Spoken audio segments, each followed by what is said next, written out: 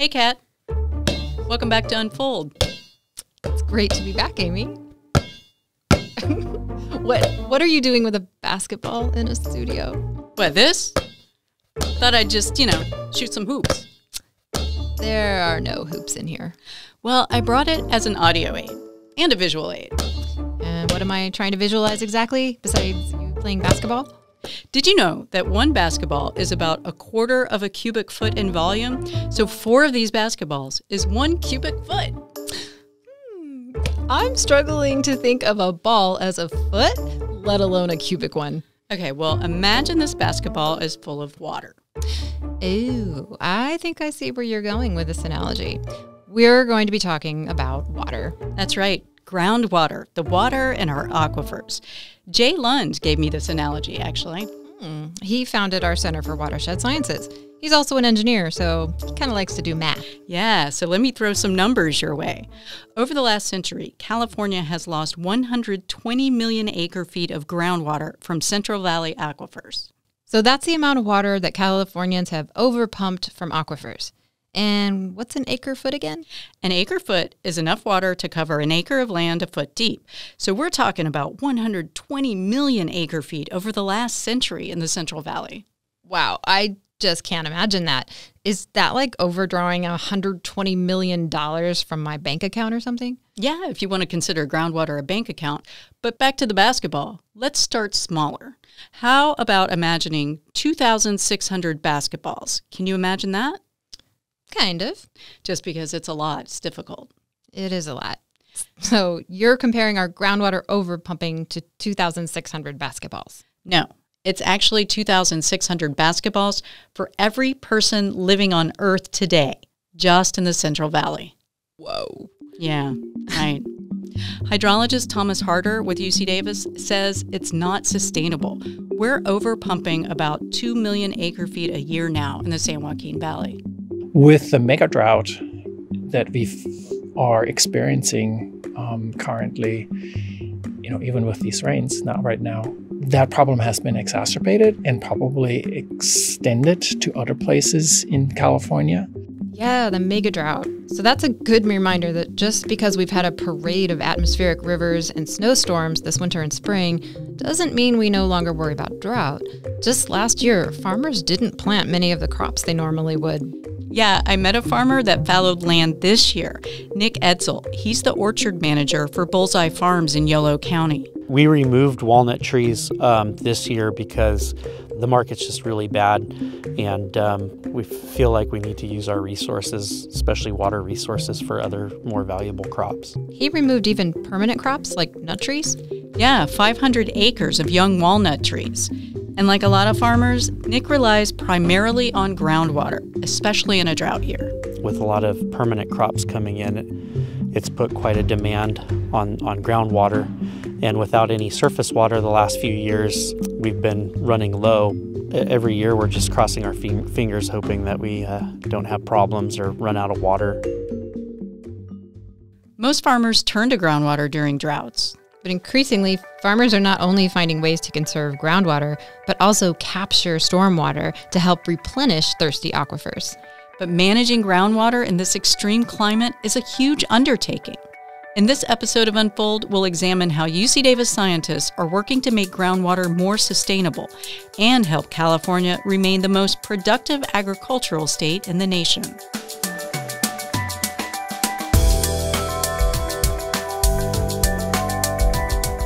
Coming to you from UC Davis, this is Unfold. I'm Amy Quinton. And I'm Kat Kerlin.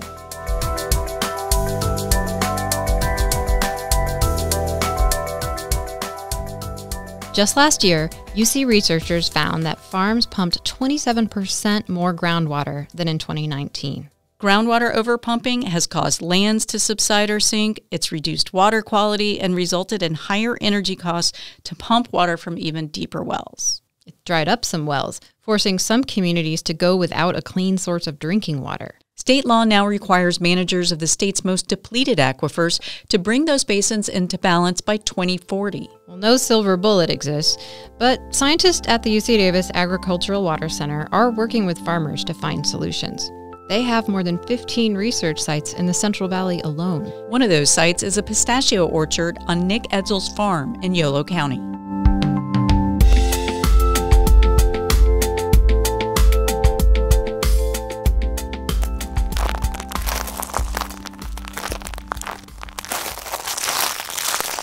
The ground on this orchard is dry and hard. Dead tree leaves crunch beneath my feet. And it's January, shortly after four atmospheric rivers pummeled California.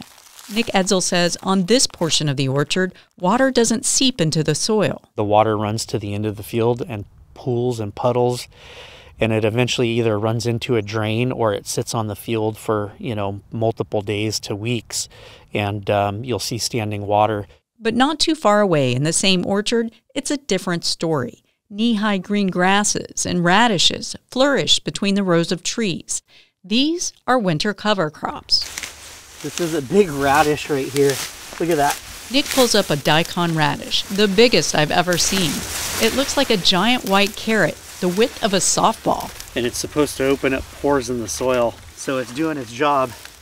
Those giant pores allow water from rains to seep into the ground and help recharge the aquifer beneath the field.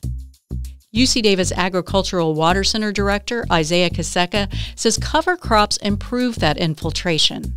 If you have cover crops like this, you're going to improve soil structure, which is going to improve water holding capacity, but also by covering the soil, you're going to protect the soil aggregates.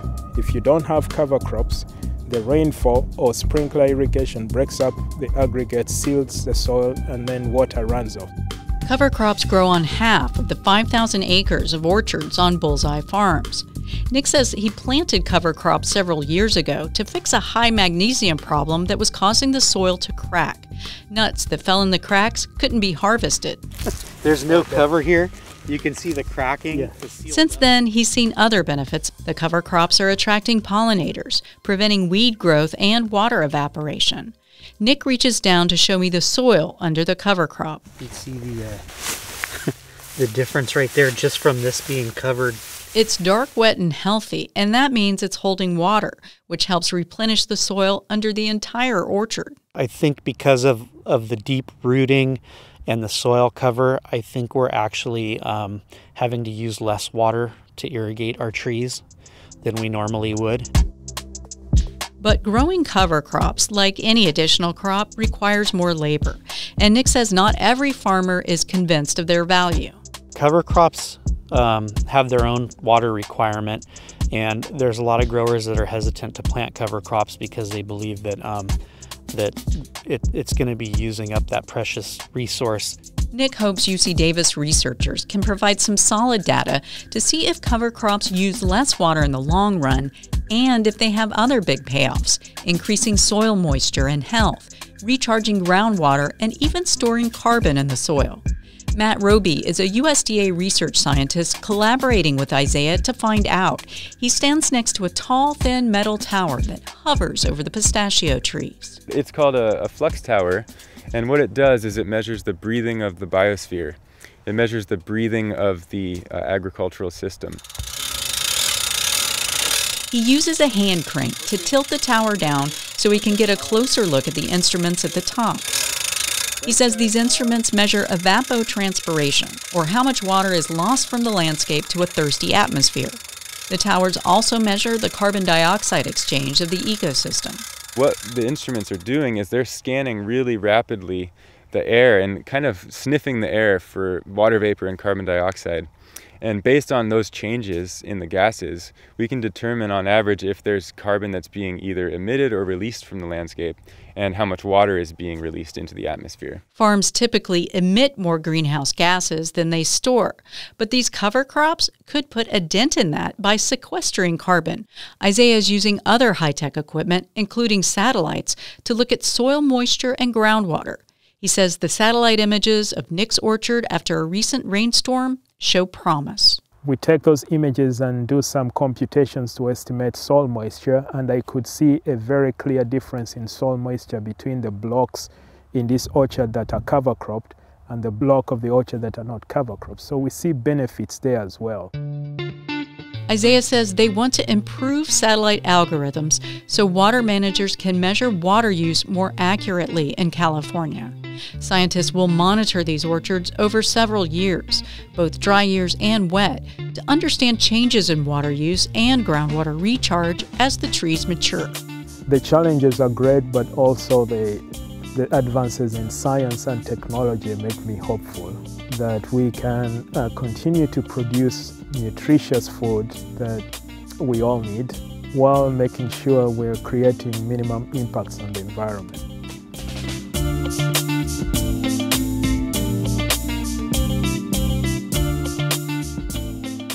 By the way, Kat, you can go to our website and find links to some of those satellite images, and you can really see the difference. Are there drawbacks to planting them? Well, Isaya says the crops may be a great water conservation strategy where Bullseye Farms is located, but may not be everywhere. If you're in the Sacramento Valley, where we receive an, on average 17 to 18 inches of rain for a year, we can successfully grow cover crops without increasing our water demand, primarily depending on rainfall to do that.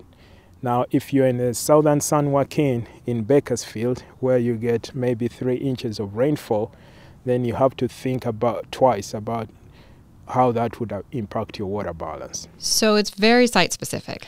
Everything is very site specific, right? I learned that even within an orchard, you can have some trees that need more water or fertilizer than others. But we know there are still other benefits from using cover crops that you mentioned, including attracting pollinators, building healthier soils, and potentially storing carbon. Yeah, and speaking of healthier soils, I spoke with one of our cooperative extension assistant professors, Mallika Nocco. You may also know her from her Water Talk podcast. She's researching a newer and potentially better cover crop it's been engineered for places like California where it, it doesn't need that much water and it's not going to compete with a cash crop for water. So it's a perennial cover crop. So it's more intended for, um, you know, orchard systems, perennial cropping systems, and it takes very little water to germinate. And we're we're trying to really understand exactly how much it does need. But it's a great example of like a new solution for how our cover crop could work in a more arid climate. And what's the name of this magical cover crop? Oakville bluegrass. It's a perennial that could last 10 years, and it's dormant in the summer, so theoretically wouldn't compete for water with other crops. But of course, there's not just one solution to growing food with less water. Yeah, in fact, I also went to an almond orchard in Yolo County where they're using a really new technology and also an older one to conserve water.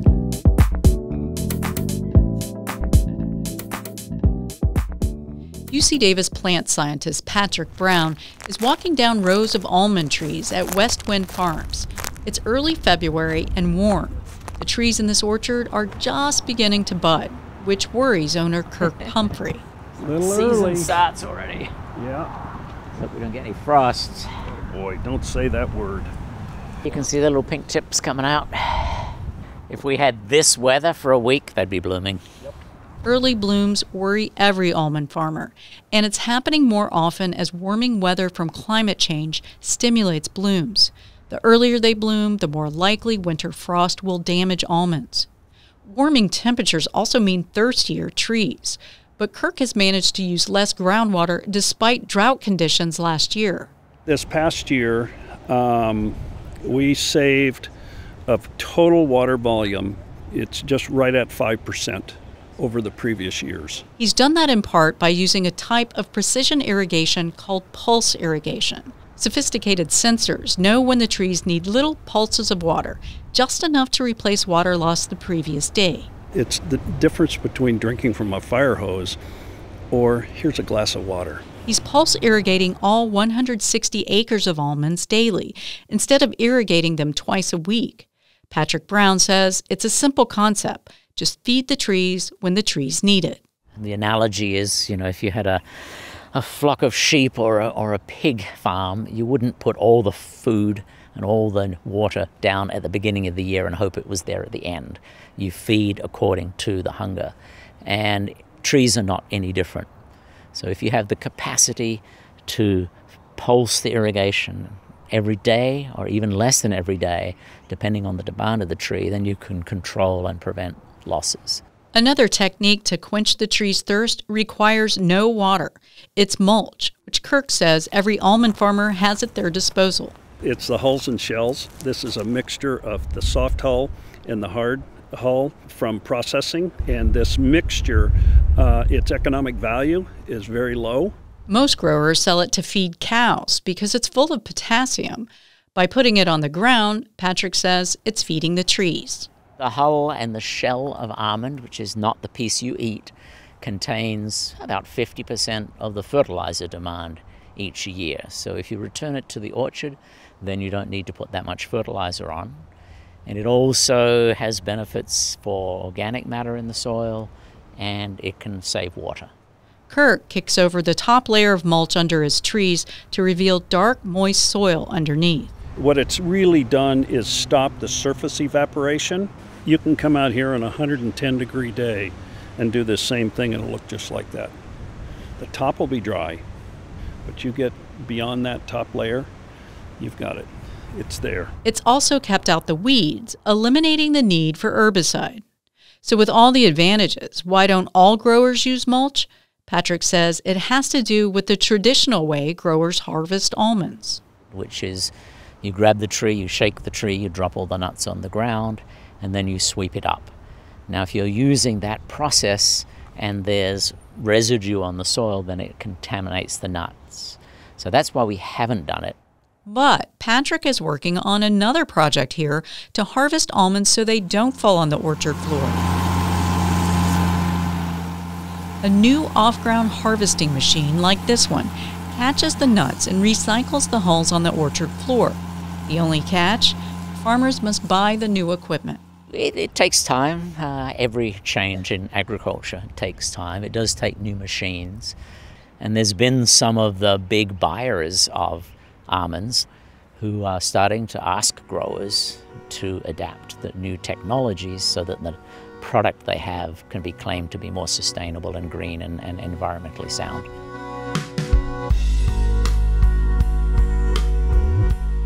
These new technologies and practices seem great for reducing water use, but I keep thinking of the 2,600 basketballs per person analogy. I mean, is it really enough to make up for all that water we're drawing out of our aquifers? Well, you know, think about it. Farmers have made some enormous changes in the last few decades. They used to flood the entire field. Now most use more efficient drip irrigation or micro sprinklers. But doing that has also decreased the amount of water that percolates into aquifers. But speaking of flood irrigation, makes me think of all of these atmospheric rivers we've had. I know UC Davis is researching ways to capture more of that water and spread it across farm fields. Yeah, the idea is that this could happen in winter months when crops aren't growing or when orchards are dormant. They could also capture it and store it underground. There's a name for it. It's called managed aquifer recharge. Hydrologist Thomas Harter, who is also working with our Agricultural Water Center, says we'll need land and lots of it to do that. We're also thinking about how can we use the agricultural landscape, hundreds of thousands, perhaps millions of acres. Some places will be able to do a lot of water in a short period of time. Some places will be doing some water over large landscapes and thereby also being able to squirrel away a lot of water into subsurface storage. It's always harder than it sounds. Not all soil will allow water to seep into the aquifer, and diverting water from rivers or creeks means dealing with water rights issues. Yeah, Thomas told me that for the most overpumped basins, like those in the San Joaquin Valley, managed aquifer recharge might eventually recover 20 to 40% of the groundwater lost every year. Farms and communities will still need to use less. But Thomas says he's hopeful California can achieve sustainable water use. I'm optimistic that we will eventually figure out how to do this for our own livelihood. We have to keep water levels stable. We can't afford the amount of land subsidence that we've seen in the past. We also can't afford to stop growing food. California is the most productive agricultural state in the nation. And Isaya Kisekka says it's easy to think about the water we drink, but we also need to think about the water we eat. We cannot have food without water and managing water in agriculture is very important for our survival as human beings on this planet. I can't top that. I know, right? I guess it's the perfect time to bounce now. Is that how you're ending this episode of Unfold with the basketball metaphor? Well, you know, I think we bounced around enough ideas, don't you? Yes, definitely. You can learn more about the Agricultural Water Center at our website, ucdavis.edu slash unfold, and check out all of our episodes of Unfold from previous seasons on food, climate change, health, and curiosity. I'm Kat Kerlin. And I'm Amy Quinton. Thanks for listening.